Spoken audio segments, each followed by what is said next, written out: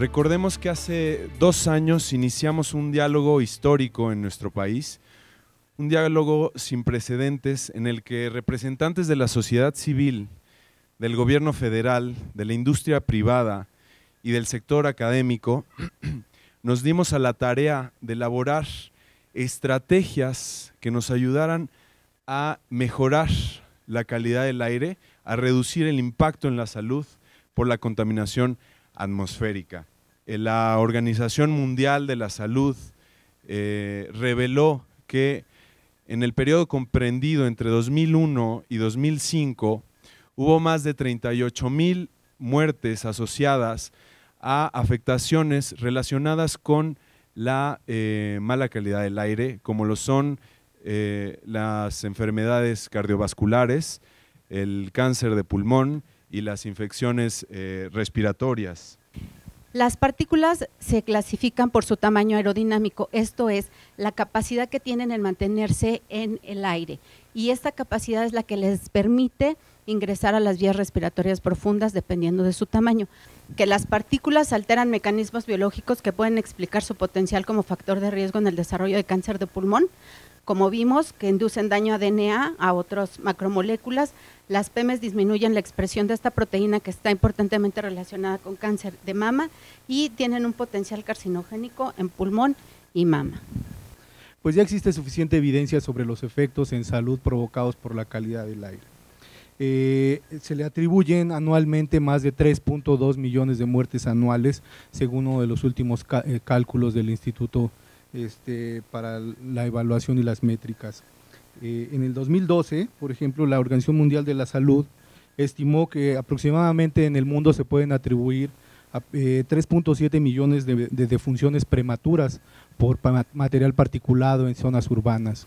Eh, en, en, concreto, la Dirección de Salud Ambiental, en la cual nosotros colaboramos, nos dimos a la tarea de generar una propuesta que generara los lineamientos de un indicador de calidad del aire que tuviera representación nacional y que permitiera informar a la población de manera clara, oportuna y continua sobre los niveles de contaminación y qué es lo que ahora les comparto. Este proceso, bueno, pues lleva ya aproximadamente un año desde que se iniciaron los trabajos donde han venido elaborándose una serie de procesos que nos han permitido a nosotros ir obteniendo la eh, eh, la información de diversos sectores involucrados en el tema. Revisamos los índices de Estados Unidos, Canadá, Hong Kong, Inglaterra, de manera que nos permitieran todo un antecedente y un panorama claro para que lo, que nosotros queríamos trabajar, generar y proponer. Eh, la propuesta es un índice que se llama Respira, que va a considerar a, la característica de, de, que conlleva un reilete como un emblema este, nacional. Entonces, de las primeras cosas que hicimos fue revisar qué era lo que teníamos en términos de monitoreo de calidad del aire en el país. Y bueno, nos encontramos, nos encontramos mucha sorpresa, nos encontramos con que solamente había había unos, unos cuantos sistemas que estaban, que estaban funcionando, había unos 35 sistemas que estaban funcionando y los demás tenían problemas o de, de que sensores que no, que no trabajaban bien o incluso muchos que tenían los aparatos y estaban guardados en cajas porque no había quien los, quien los ocupara, otros que no tenían mantenimiento. Entonces nos dimos a la tarea de, en primer lugar, saber qué estábamos midiendo, porque se pueden poner aparatos por todos lados y eso no quiere decir nada. Descubrimos que una, una de las mayores eh, carencias que tenemos no es tanto en términos de equipos, sino en términos de gente preparada para, para participar. Entonces nos parece que es el recurso más importante a preparar en todo el país y estamos trabajando muy cercanamente con los estados y con las instituciones de educación superior para fortalecer esta, esta parte. Eh, si nosotros tomáramos los criterios de la norma 156, realmente tendríamos que estar, que tener más, bueno, un poco más del doble de lo que tenemos ahora. Se están proponiendo algunas, algunos eh, arreglos a la norma para que sea eh, realmente eh, eh, puesta con criterios que sean viables, que lo podamos hacer de inmediato y que, eh, lo que lo que persigan sea el bienestar de la población. El año pasado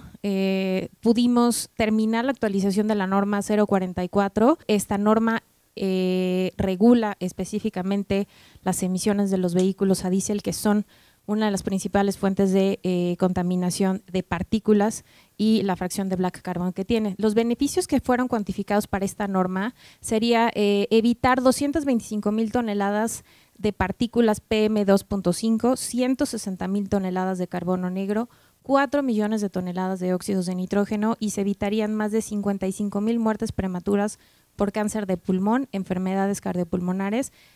enfermedades respiratorias agudas. Los beneficios de esta norma superan 11 veces los costos que tienen.